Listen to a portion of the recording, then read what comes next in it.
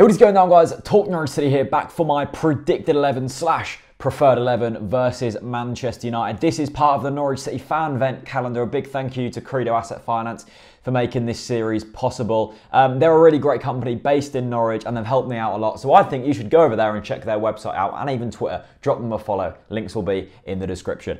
Um, anyway, back for my team to face Manchester United. Of course, in goal starting is Declan Rudd. I think he's been exceptional in the past two games, and I think he's needed to put them performances in because when you get given a chance uh, in the Premier League, you need to take them. Often this season, we've had players given opportunities and not really taken them. Declan Rudd has been one of them players who has taken his opportunity, though, and I think he's needed to because we all knew what a great goalkeeper was from performances at Preston, in the under 21 squad, the occasional first team, you know, cup um, squad run out he's looked good and he's looked good in the Premier League. And I think after this whole John Ruddy fiasco, Ruddy just needs to take a step back, just put himself in a good position mentally and physically, just take a break, let Declan Rudd sort out. He's more than capable. And then Ruddy might come back a better player, who knows. But for now, Declan Rudd's certainly the best goalkeeper. Um, in at right back, I'm going Andre Wisdom. I think we look much, much better with Wisdom there.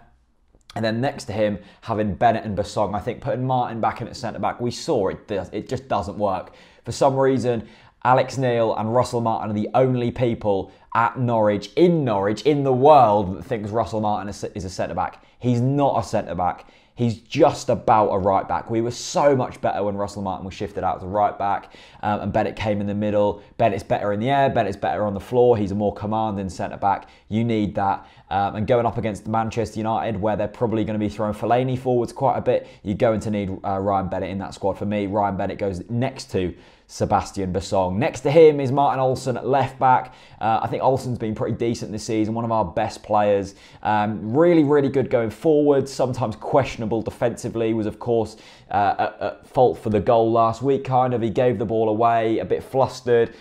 Not the best technically, but going forwards, he can deliver one hell of a ball, and that could be really pivotal in, in a, in a counter-attacking game plan. So Martin Olsson goes in there for me. I'm then going for a bit of a different formation. I'm going for three across the middle, sort of a holding three. I think we need to get players in the midfield that can help defensively and also add that bit of attacking movement if needed. Um, I just think that Manchester United are under a lot of pressure. They're going to be throwing men forwards, and if we can help out the defence as much as possible, we might as well. But of course, the balance between defence and attack needs to be there. I think that's that this formation does that.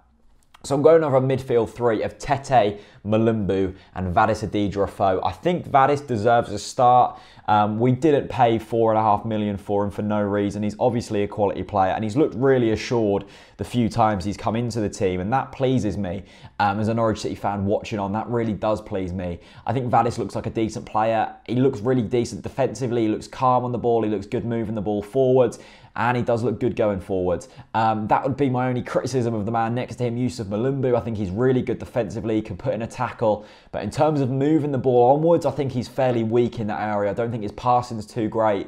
Um, and I think that's an area that really does need to be improved on for Youssouf Mulumbu. And then, of course, next to him, Alex Tettey. Um, not been that great this season. Had a couple of standout games. Was fantastic in the second half against Everton with their long, uh, lunging strides forwards that really does orchestrate the game from the middle of the park. And that's what we need from Alex Tettey. We need a command performance from the middle of the park. We need a performance of yesteryear where he gets the ball in the middle, he drives with it, and he's great defensively as well. We need we need a calm-headed performance from him this weekend, and I think he could deliver that.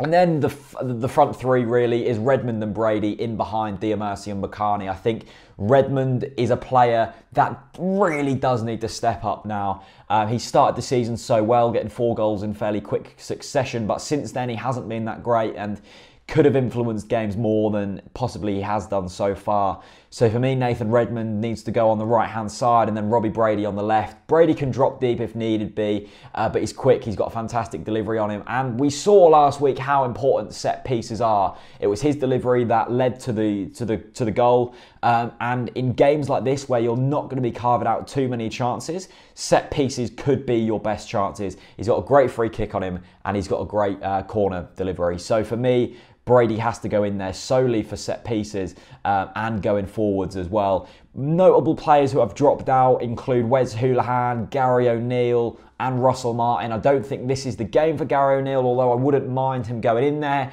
maybe drop him out for Mulumbu or someone. Russell Martin, I've already explained, and Hoolahan because I don't think he's the type of player for this game. I think you need more defensive players who can track back um, against a strong Manchester United side rather than players who might benefit the game when they get the ball but won't work too hard to get the ball, if you know what I mean. Um, that's my predicted slash preferred 11. Bit of a different team, bit of a different formation.